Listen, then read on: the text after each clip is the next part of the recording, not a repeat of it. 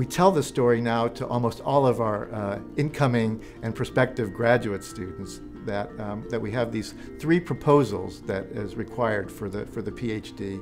And uh, the first proposal is on your ongoing research topic. And the second proposal is off topic. That is, it's in a field that's uh, as far removed as you can imagine from your current research project. The second proposal is really a proposal to help them develop creativity in science and to think independently. And so uh, Jeremy Nathans is famous, uh, in fact, infamous in our department because we use his proposal as an example to all of our incoming graduate students. In fact, we use it to recruit graduate students to the department. So when Jeremy was picking his topic, he was having conversations with Lubert Stryer and actually took a class from Lubert. And he came up with this idea to um, identify the molecular basis of, uh, of human color vision by starting with the cloning of a gene for black and white vision, basically, um, where the protein had already been identified, and then using that as a molecular probe to isolated related but different genes.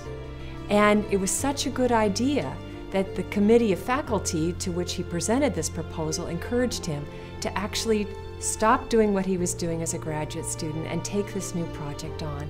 He not only identified the genes that encode the uh, black and white uh, vision receptors, but also went on to identify these um, homologous genes, related genes, that encode the red, green, and blue uh, color uh, detectors, sensors and then went on beyond that to show that um, people who are red green colorblind basically are defective in their red and green uh, genes and to show the molecular basis of the genetic changes that uh, have taken place in those individuals.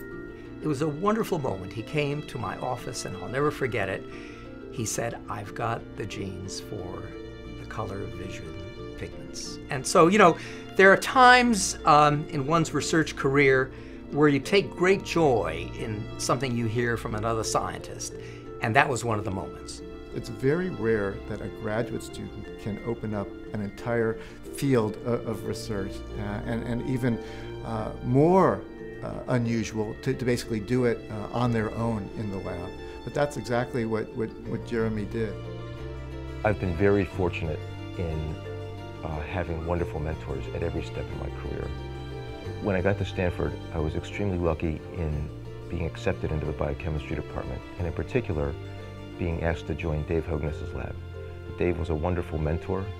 He was always there to hear whatever I had to say, uh, however well or ill thought out it was.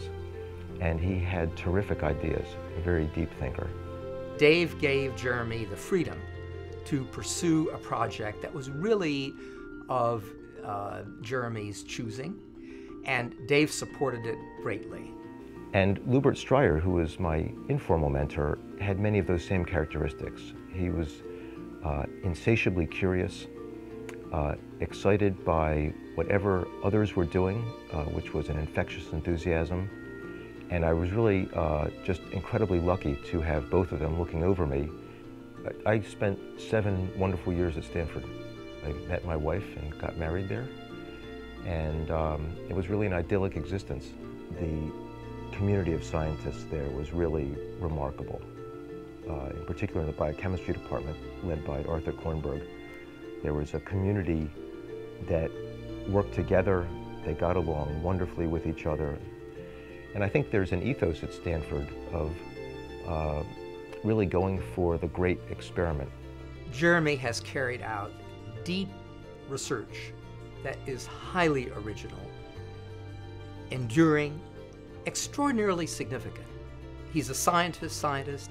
He's very much in the mold, in, in the character of Arthur Kornberg and Paul Berg, and he has made really a fundamental contribution to our understanding of vision, to our understanding of neural circuitry. Not only is he a wonderful person, a very thoughtful and broad scientist, but an innovator and a pioneer. And um, what we are, he is among uh, the alumni that we are the very most proud of in the Department of Biochemistry. So uh, it's difficult to imagine anyone uh, who would be more deserving of this honor than Jeremy Nathans.